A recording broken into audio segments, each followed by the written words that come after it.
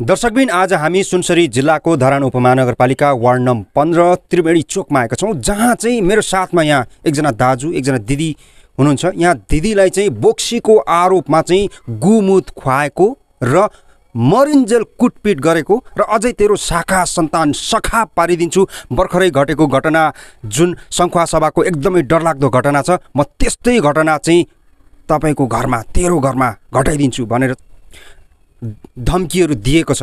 दर्शकबिन धम्की दिने अरू कोही होइन। उहाँले हामीलाई जानकारी दिनुभएको छ धम्की दिने व्यक्ति आफ्नै देवार हो भनेर चाहिँ उहाँहरूले खुलाइराख्नु भएको छ। दर्शकबिन यो विषयमा बुझ्नको लागि म स्वयं एकजना यहाँ दिदी हुनुहुन्छ दाई हुनुहुन्छ म उहाँहरूसँग जोडिन चाहन्छु। कृपया भिडियोलाई अन्तिमसम्म हेरेर साथ दिनुहोला। दाई नमस्ते हजुरलाई। नमस्ते। हजुरको शुभ नाम? मेरो नाम गङ्गागिरी। जस्तो तपाईँको श्रीमती। हजुर। तपाईँको श्रीमतीलाई चाहिँ बोक्सीको आरोपमा चाहिँ गुमुत खुवाउने होइन? मर्ने गरी कुट्ने अझ त्यति पनि नभएर शाखा सन्तान सब म चाहिँ खतम पारिदिन्छु होइन?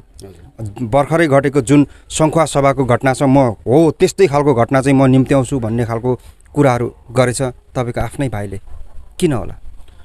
अब उहाँहरूलाई अघि नै मैले मोटामोटी पनि भनिसकेको छु यही कान्छा भाइको छोरा मौसम गिरीले चाहिँ अन्तरे भाइको हाडनाता क्रनी स्वयं अन्तरे भाइको छोरीलाई चाहिँ बलात्कार गरेपछि हामीले चाहिँ अब हामी एउटा गार्जेनको नाताले उसलाई चाहिँ जेल हाल्न हामी सफल भयौँ। सफल भइसकेपछि ऊ निक्ल्यो निक्लिसकेपछि हामीहरूलाई उहाँहरूले चाहिँ पटक पटक मार्ने काट्ने आदि इत्यादि बोक्सी रन्डी राँडी होइन कहिले चाहिँ भनौँ न अब घोडा चढ्छु तँलाई होइन। जेल जेल हाल्नुभएको कुरा अलिकति फेरि प्रश्न पारिदिनुहोस् त। जेल चाहिँ अब अन्तरे भाइ काठमाडौँ गाईघाट बस्थ्यो। उसले चाहिँ ल्याएर हाम्रो घरमा उसकी छोरी राखिदियो। दाजु कति वर्षको छोरी? लकडाउनको बेलामा। अ, पोहोर लकडाउनको बेलामा छोरी चाहिँ बाह्र वर्ष। कि बाह्र तेह्र वर्ष कि भनौँ न बाह्र बाह्र तेह्र वर्ष कि अनि यहाँ ल्याएर राखिदिइसकेपछि अब गार्जेन त हामी भयौँ। हामी भइसकेपछि ऊ चाहिँ अब यहाँ घरमा मेरो छोरी र उसलाई मात्रै छोडेर हामी यहाँ बाख्रा पाठालाई घाँस काट्न गएको थियौँ। जाँदाखेरि चाहिँ उसले चाहिँ अब मेरो छोरीलाई सामान फकाएर मेटासिट खाउँ झुन्डिएर मरौँ। हामी बाँच्नु उचित छैन तेरो पनि दादा छैन मरौँ भनेर चाहिँ भनिन्छ। त्यति भनिसके पछाडि हामी घाँस काटेर आउँदा आइसकेपछि घरमा आइसकेपछि छोरीले चाहिँ रुँदै भन्दै गरी बाबा मलाई भूमिकाले यसो यसो भनी। भनेपछि हामीले चाहिँ भूमिकालाई सोध्यौँ किन यसरी मर्न खोज्छिस्? तेरो बाबा पनि उहाँ छ। भन्दाखेरि उसले चाहिँ के भने भने "म- मलाई ठुलो बाबा तपाईँ बाहिर जानुहोस् म ठुली मम्मीलाई सबै कुरा भन्छु। भनेर चाहिँ उसले भन्दाखेरि मैले सोध्न लगाएँ स्वयं उसको ठुलो मम्मीलाई सोध्न लगाउँदाखेरि उसले चाहिँ मलाई चाहिँ मौसम दादा मौसम गिरीले मलाई कुले काका छोराले मलाई बलात्कार गरो म बाँच्नु छैन भनेर उसले भनी। त्यस कारण चाहिँ नि हामीले चाहिँ का स्वयं अन केटीको बाउलाई बोलाएर घरको कुरा घरमै मिलाम भन्दाखेरि माथिबाटै मौसम गिरीका बाउ छोराले चाहिँ खुकुरीले काट्ने पनि भए तोरेका पनि हामीले जस्तो बाह्र वर्षको बालिकामाथि चाहिँ करणी भयो। करणी गर्ने व्यक्ति चाहिँ के पर्छ? स्वयं करणी गर्ने व्यक्ति दाई। पर्छ केटीको। केटीको वर्ष। केटीको दाई। अ, अन्तरे भन्ने आफ्नै आफ्नै नाता। आफ्नै आफ्नै आफ्नै आफ्नै आफ्नै दाजुभाइका छोरीहरू हुन्। मे मेरो भाइहरू भयो उसको देवर दुईवटा होइन? दर्शकबिन यहाँनिर सुन्दा पनि कस्तो रिस उठ्दो अनि लाज लाग्दो। आफ्नै दाइले बाह्र वर्षको बहिनीलाई कसरी बलात्कार गर्न सक्छ? सुन्दा पनि घिन लाग्छ। घिन मात्र होइन रिस उठेर आउँछ। म दिदीसँग जोडिन चाहन्छु। जस्तो तपाईँलाई बोक्सीको आरोपमा गुमुत खुवायो कुट्यो भन्नुभएको छ होइन? एक किसिमको आरोप लाउनु भएको छ आफ्नो देवरहरूलाई तपाईँलाई के गुमुतै खुवाएको हो त उहाँहरूले? मलाई यस्तो भयो मेरो श्रीमान रामपुर जानुभयो। मलाई कोभिड भएको थियो पोहोर साल सत्र अठार लाख रुपियाँ सक्यो। म डेढ डेढ महिना नर्सिङ होममा बसेँ भेन्टिलेटरमा पनि बसेर म बाँचेर आएको मान्छे हुँ हेर्नु। फोटो पनि छ भेन्टिलेटरको। डक्टरहरूले पनि धेरै बधाई दिनुभयो त्यस्तो बेलामा दसैँको टाइम थियो। दसैँको टाइममा उहाँलाई किरा माने भनेर नाम राख्दा रहेछन् घरका मान्छेले। त्यसकी स्वास्नी मर्न आँटी खसी छिटो छिटो काटेर खाउँ भनेर भन्नुभएछ। मलाई मेरो त केही अस्तित्व नै छैन यो घरमा। कसै कहीँबाटै अस्तित्व नै किन मेटाउनु भयो उहाँहरूले मैले सबैले सम्मान गरेको छु अहिलेसम्म अनि मलाई बोक्सी रन्डी भनेर भाइ नभएको बेलामा कहाँ कसरी प्लान बनाउनु भयो के गरेर बनाउनु भयो हप्ता दिन गुमुत? खुवायो गुमुत खुवायो घरमा कुटपिट गरो जेठो जेठाजु साइलो जेठाजु अन्तरे देवर कान्छो देवर भएर गुमो जेठाजु देवर मिलेर? सबै मिलेर चारजना मिलेर अनि फेरि हप्ता दिन अगाडि मुस्लिम दाएर यस्तो सेतो टोपी हुन्छ नि यस्तो नक्कली दाएर त्यस्तो भन्न रेकर्ड पनि पठाउनु भएको थियो। अपहरण गर्न पठाउनु भएको थियो। हामीले गुहार गर भनेर ऊ गर्ने बित्तिकै ती मान्छे चाहिँ भागे। अपहरण गर्नु पनि यहाँ पठाएको। पठाएको त्यो पनि। हामीले इलाकामा उहाँ प्रशासनमासम्म पुर्याएका छौँ त्यो पनि। हामीले त्यसैबाट मुद्दा लड्दै गएका। जहाँ। पुर्या हाम्रा मान्छे आइजिबीदेखि लिएर तिमीहरूलाई कुवाको भ्यागुदो बनाएर कुवामै भ्यागुदो मारेर कुवामा जसरी गाडेर काँडा छरिन्छन् त्यस्तै मात्रै बनाउँछौँ भनेर उहाँहरूले बोल्नु भएको छ पटक पटक। किन यसरी गर्नुभएको? एउटा छोरो खसेको दुई वर्ष भयो र मलाई यो तिन पहिले सात पहिले बाउकी बुढी र जेठाजु देवरहरूको सबैको बुढी भन्नु भनेको कारण। के हो? म रन्डी बेसिया भएको पनि उहाँहरूले प्रमाण पुर्याउनु पर्यो। होइन? अनि यो मेरो बुढो श्रीमान यहीँ हुनुहुन्छ। श्रीमान हुँदाहुँदै उहाँहरू यो जेठो जेठाजुको छोरो के अरे त्यसको नाम? सुरजगिरी। सुरज गिरी भन्ने रोमन्यामा छ। तँलाई त रन्डीलाई भालुलाई आएर पालैले म बलात्कार गर्छु अरू कोही चाहिँदैन म गर्छु भनेको छौ। त्यो अलिक नसालु यस्तो अलिक नराम्रो टाइपको नि मान्छे जस्तो लागेको छ। कस्तो उहाँले चाहिँ लागु औषध पनि सेवन गर्ने हो? गर्ने सेवन गर्ने हो। सबै जिउ छेडेर केही छैन। हामीलाई डर लाग्यो मैले उसको मम्मीलाई फोन गर भने दिदी यसो यसो भन्छ। तपाईँको छोरो र मेरो छोरो त एउटै होइन र दिदी के भनेको भन्दा के भनेछ काहीँले? यो अपराधीले काका बाउले जे सिकाए त्यही भने भनेर दिदीले भन्नुभएको छ उसको मम्मीले पनि। यो केटीकी आमाले पनि यो भूमिकाको आमाले पनि जस्तै यो हाम्री पोहोर बलत बलात्कृत भएकी छोरीको आमाले पनि यो सा सडेको शाखा सन्तान उहाँ उस उहाँकोले बोलेको रेकर्ड छ। मलाई अहिले दुबईमा छ कुवेतमा देउरानी अन्तरी उसले बोलिरहेछ यो यो सन्तानले तपाईँलाई जतिखेर जे पनि गर्छन् तपाईँ बरु घर बेचेर कहाँ त्यहाँ रेकर्डै छ उसले बोलेको भने घर बेचेर बरु अन्त कहीँ बस्नुहोस् तपाईँलाई साथ दिने मान्छे छैनन् दिदी। होइन उहाँहरूको घर चाहिँ कहाँ यहाँदेखि?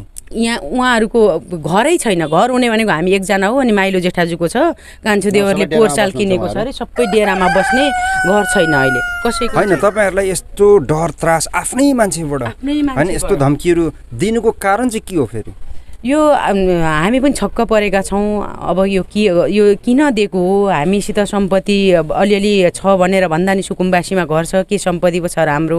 हेर्नु धन सम्पत्ति भए त हामी नि करोडौँ अरबौँपतिका छोरो हुन्थ्यौँ जेलमा होला। लगेर हालेकोले ब- ब- हालेकोले उ- त्यही उसको रिसले छोराको हो। इज्जत गयो अरे। इज्जत गइसके पछाडि उसले चाहिँ जसरी मेरो छोरालाई लगेर फसाएर लगेर हालिएको छ बलात्कारी बनाएर भएर भन्ने कुराले चाहिँ हामीलाई यसरी पटक पटक मात्रै इज्जत गएन हाम्रो पनि इज्जत गएको हो नि त। होइन। बलात्कारी केसमा उहाँहरूको छोरो पर्यो। होइन। बलात्कृत भए भनेर त तपाईँको त्यो छोरीले भनेको कुरा हो नि। हामी गयौँ एक डेढ लाख लकडाउनको बेलामा खर्च भयो। हामी एउटा पत्र बनाइदिएर हामी यहाँबाट काठमाडौँ हनुमान ढोकासम्म गएर कालीमाटी गएर अदालतसम्म पनि त्यो एउटा सानो बच्चीले बोलेकी छ। पछि त्यो केटीलाई चाहिँ ललाइ फकाइ गरेर झुक्क्याएर दुनियाँ दिमाना चाहिँ केटीलाई फकाएर उहीँ छाडिदिएपछि चुला उहीँ छाडिदिएपछि त्यसो गरेर चाहिँ केटालाई छ महिना पछाडि उहाँहरूले निकाल्न सफल हुनुभयो। होइन बलात्कारको केसमा जेल चलान भइसकेको मान्छे कसरी निस्किन्छ? नाबालक भनेर चाहिँ उमेर। पुगेको छैन भनेर मुद्दा फैसला भएको छैन। नाबालक भनेर चाहिँ। नाबालक भन्नाले केटा चाहिँ उमेर नपुगेको? उमेर नपुगेको। कति कति उमेर? सोह्र हो। सोह्र वर्ष सत्र त्यस्तै होला। लेखाएको छ होइन अनि ठिक छ।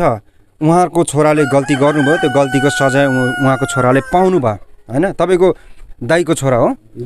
भाइको। छोरो भाइको छोरो। अनि त्यस पछाडि ल ठिक छ सजाय त पायो होइन? हजुर। सजाय भोगेर बाहिर निस्किसके पछाडि मिलेर बस्नुपर्ने ठाउँमा किन यत्रो ठुलो रिसिभी किन हामीहरूलाई पटक पटक अब विभिन्न नम्बरबाट फोन आउँछ हेर्नुहोस् उहाँहरूका नम्बरहरू हामीले सबै के अरे ब्लक कलमा राखेका छौँ तर नयाँ नयाँ नम्बरबाट उहाँहरूले फोन गर्नुहुन्छ। के भन्नुहुन्छ उहाँहरू चाहिँ? उहाँहरू के भन्नुहुन्छ भने को बोल्नुभयो भनेर भन्दाखेरि तेरो बाउ भनेर यस्तो शब्दले बोल्नुहुन्छ तरन्डी अनि फलानो। किन। हामीलाई चाहिँ नि मुद्दा हालिस्? किन यसो गरिस्? हँ? रन्डी साले तँलाई चाहिँ नि मार्दा के फरक पर्छ? तँलाई शङ्ख सभामा त केही नभइकन त्यत्रो घटना घट्यो। त्यही अनुसारले तँलाई मार्दाखेरि केही फरक पर्दैन। अब बाँधिदिनुहोस् न भन्ने कुराहरू गर्नुभएको छ। हामीलाई ठुलो डर तरास भएर चाहिँ हामी बाध्य भएका छौँ हजुरहरूलाई हामी बोलाउन। दर्शकबिन यहाँ एउटा परिवार अहिले धेरै त्रासमा छ डरमा छ। उहाँहरूको कुरा सुन्दाखेरि यहाँ हामी बस्नको लागि एक सेकेन्ड पनि हामी बाँच्न सक्दैनौँ होला त्यस्तो ठुलो उहाँहरू त्रासमा रहिरहँदाखेरि अहिले उहाँहरूलाई एकदमै धेरै सुरक्षाको चाहिँ आवश्यकता छ र उहाँहरू यसरी पीडित हुनुको कारण पनि आफ्नै आफन्तबाट आफ्नै दाजुभाइबाट आफ्नै देवर आफ्नै जेठाजुले गोमुद खुवाउनु होइन आफ्नै। भाइको छोराले यता दाईको छोरीलाई बलात्कार गर्नु कहाँसम्मको अपराध हो? दर्शकबिन यो यो भिडियो सक्दो सेयर गरेर सम्बन्धित निकायसम्म पुर्याइदिनु होला ताकि सम्बन्धित निकायको पनि आँखा यहाँसम्म पुगोस् कि उहाँहरू एकदमै डर त्रासमा बस्नुभएको छ। टाढाको व्यक्ति होइन आफ्नै आफन्तले मार्ने धम्की दिएको छ गुन्डाहरू पठाएको छ भन्ने खालको कुराहरू गर्नुभएको छ उहाँहरूले। के भन्न चाहनुहुन्छ उहाँहरूलाई? यो भिडियो हेरिराखेको खण्डमा चाहिँ। उहाँहरूलाई अब सबैजना के अरे नेपालमा जति पनि हुनुहुन्छ उहाँहरूले भिडियो हेरिरहने हेरि नै राख्नु भएको होला होइन? विशेष तपाईँको आफन्त तपाईँको दाजु भाइ ज जसले चाहिँ तपाईँको श्रीमतीलाई गोमुत खुवायो होइन? कुटपिट गर्यो बोक्सी भन्यो होइन? छोरीमाथि बलात्कार गर्यो। उहाँहरूलाई चाहिँ के भन्न चाहनुहुन्छ? उहाँहरूलाई म के भन्छु भने हामीलाई जस्तो कसैलाई पनि उहाँहरूले नखेदुन् होइन? उहाँहरूलाई जति सक्दो कानुनका कटघरामा ल्याएर उहाँहरूलाई कारवाही होस्। र उहाँहरूले हामीलाई जस्तो कोही कसैलाई पनि उहाँहरूलाई चाहिँ नगर्नु भन्न म आग्रह गर्छु होइन? अ, उहाँहरूलाई जति सक्दो अ, उहाँहरूलाई चाहिँ अ, कानुनी काठगडा काठगडामा ल्याएर कारवाही होस् भन्न कारवाही होस् एकदम। दिदी तपाईँ के भन्न कारवाही चाहनुहुन्छ? होस्। मलाई चाहिँ सबैभन्दा मेन कुरा चाहिँ म मेरो आलो घाउ मुटुमा छ। मेरो छोरा खसेको दुई वर्ष भयो सुजन गिरी होइन? उसको बाउ पनि ऊ होइन भन्न भनेको छ। त्यही भएर यो आलो घाउ हुँदाहुँदै मलाई बोक्सी भनेर बोक्सी भन्न छोरो टोकिस भनेको छ कुन आधारले बोक्सी भएर मैले छोरो खाएँ? त्यो प्रमाण शुद्ध हामीले उहाँ इलाकादेखि माथि पनि पुर्याएका छौँ अनि उहाँको छोरो पनि होइन तेरो छोरो होइन भिनाजुको कामीको छोरो बो भुँडी बोकेर ल्याक्सेर रन्डी मेरो बाबुले क्रिया गर्न बाध्यता भयो भनेको छ होइन? मैले त मेरो छोरा छोरा तपाईँको छोरालाई चाहिँ ए तपाईँको छोरा बित्दा चाहिँ तपाईँले चाहिँ तपाईँ बोक्सी भएर चाहिँ खाइस भन्ने खालको आरोपहरू लागेको हो बोक्सी भएर खाएको अरे मैले बोक्सी भएर ठोकेको अरे। छोरा अपुत्रा अपुत्री भनेको छ त्यहाँ मेसेन्जरमा भोइस कलमा पनि छ। हामी अपुत्रा अपुत्री अरे एउटा बच्चा त छ छोरी। हाम्रो छोरा गयो पनि छोरी छ त्यो छोरीलाई पनि राम्रो गरी बाँच्न आधार पनि छैन अहिले। यतिखेर सरसहयोग भनेको त्यो हो जेठाजु भतिजा भतिजीको पर्नुपर्ने। हामीले त एउटा माइती कहाँ हो? मेरो माइती सोलुखुम्बु काङ्गेल। हो मेरो एक सय वर्ष पुग्न लागेको बाउलाई पनि राणीको छोरो रगतै खाने तेरो बाउ भनेर भनेको छ मेरो बाउले। बहादुर बस्नेत उहाँको बुवा। प्रेमबहादुर बस्नेत काङ्गेल हो मेरो सोलुखुम्बु काङ्गेल बाहुन्डी भन्छ। माइती उहाँ हो। सबैजनाले हेर्नु म जस्तो पीडा कसैले पनि। नभोगोस्। हामी चाहिँ भागी विवाह गरे हौँ। होइन? अब म चाहिँ अझै पनि के भन्छु भने मेरो दाजुभाइलाई अ, मेरो दाजुभाइले ऊ कसकी श्रीमती हो त? उसको मेरो छोरा कसको छोरा हो? र मेरो छोरी कसको छोरी हो? यो चाहिँ उहाँहरूले भोलि कानुनका कटघरामा आइसकेपछि म उहाँहरूलाई कदापि पनि म छोड्नेवाला छैन होइन? उहाँहरूले देखाइदिनुपर्छ दाखिल गरिदिनुपर्छ होइन? म यही भन्न चाहन्छु। पचास हजार पैसा घुस दिएर छोरो जिम्मा लाएको जिम्मा पेट जिम्मा लाएको भन्ने छोरी जिम्मा लाएको भनेको छ। त्यो। प्रमाण पुर्यायो भने म कानुनी कारवाही अनुसार म हतकडी ल्याएर म आफै जान्छु कसैले लाउनु पर्दैन। तर प्रमाण पुर्याउनु पर्यो।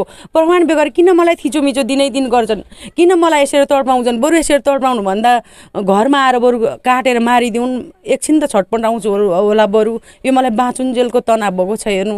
एक एकतिर छोराको आलो घाउ छ मलाई। अर्कोतिर बोक्सीको आरोप कुटपिट गुमोत खुवाएको छ घरमा आएर अर्कोतिर सङ्घसभा होइन तपाईँ। माथि त्यसरी बोक्सीको आरोपमा कुटपिट भयो गुमुत खुवायो होइन? हजुर। तपाईँले केस गर्नु भएन? अहिलेको जमानामा जसले पनि कोही व्यक्तिमाथि बोक्सी भनेर आरोप लाउँछ भने एकदमै ठुलो कारवाही लाग्छ। कारवाही हुन्छ। सम्बन्धित निकायले पनि के अहिले के भन्छन् भने दुई सय रुपियाँ अरे दुई दिन जेल मात्रै भनेर उनीहरूले नै सुनाइराखेका छन् त्यो पनि हेर्नु है। कानुनी रूपमा त्यति त रहेछ त्यति गर्न कुन ठुलो कुरो हो? हामी जेल जान्छौँ अरूले त। तिमीहरूलाई काट्छन् हामी भनेको चाहिँ मिल्दैन एकदम तनाव दिएको छ। यो बोक्सी भनेर भनेको कानुनीले पनि किन यति ढिला हेरो? हेर्नु फागुन नौ गतेको कुरा चैत वैशाख जेठ असार साउन भदौ।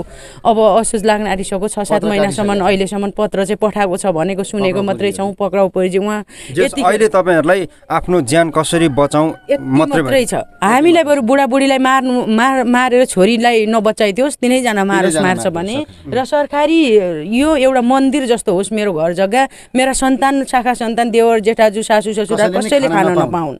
हामी यति बाइजानस दुर्घटना पाएर। मारिहाल्यो भने यिनीहरूभन्दा अरू हाम्रा शत्रु कोही छैनन् सबै मित्रु नै छन् यसरी मारिहाल्यो भने हाम्रो यता इटरीमा पनि छ अलिकति जग्गा होइन यो सबै उसमै जाओस्। एउटा सरकारी मोठ मन्दिरमा जाओस् बरु यिनीहरूले चाहिँ खान नपाउन्। दर्शकबिन यहाँ आमाको कुरा सुन्ने बित्तिकै मान्छेको मन भक्कानिन्छ मान्छेलाई बाँच्ने अधिकार कसले छैन र। बाँच्न कसलाई मन लाग्दैन र। तर उहाँहरूलाई अहिले बाँच्न पनि बाँच्न पनि म सक्दिनँ होला। बाँच्न पनि म कसैको सहारा लिनुपर्छ होला। होइन? बाँच्नको लागि आफ्नो ज्यान कसरी बचाउँ? भइराखेको छ। ज्यान भोलि नै मेरो तलमाथि हुन्छ होला। कुनै रोग व्यथाले होइन। आफ्नै देवार जेठाजु आफ्नै नातेदारले चाहिँ मार्छन् होला भनेर उहाँहरू दिनरात डर त्रासमा जिउनु भएको छ।